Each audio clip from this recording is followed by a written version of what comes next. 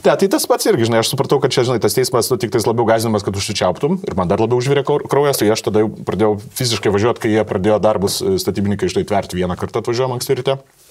Gariūnų šiandien šaikai ten susimobilizavę atsitraukėm, paskui mes jau su policija nušnekėjom, kad, okei, okay, ten padarėm kelių mėnesių pauzę susiplanuoti, buvo įdomus keli susitikimai su policija, iki detalių planavom, žinai, kaip padaryti, kad, kad nevyktų. Policija dar daug kartų sakė, žiūrėkit, bandykit skambinti tartis, nes nu, tas gali išaukti iki garliavos lygio. Nu, matys, kad, žinai, yra daug nepatenkintų žmonių, nes gariūnai jos labai lengvai sumanipuliuoja ir, ir nutempia, žinai, prie tų tvorų.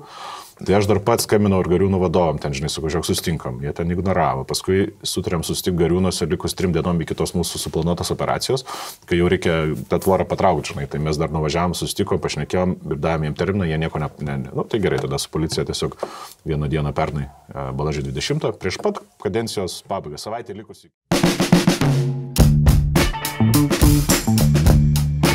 Laidą remia Meistro namai.